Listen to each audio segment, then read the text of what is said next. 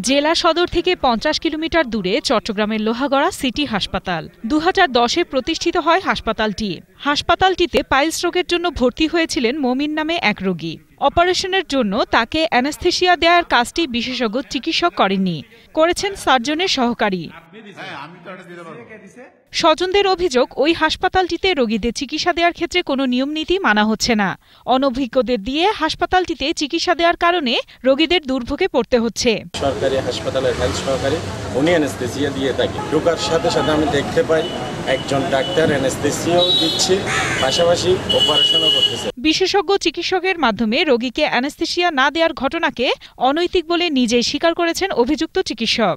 নিয়ে আসলে পেশেন্টরা কোনো সময় অ্যাওয়ার থাকে না। তারা আসলে এটা জানেও না তারা এটা বুঝেও না।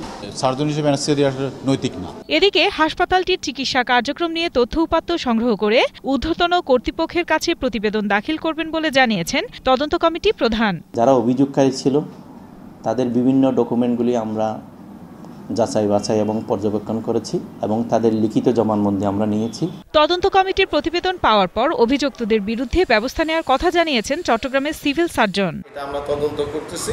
এটা যদি ঘটনা সত্যি হয় তাহলে সেটার অনুযায়ী বিভাগীয় ব্যবস্থা নেওয়া হবে।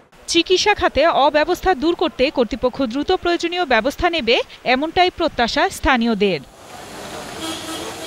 Desk report Ekushey television.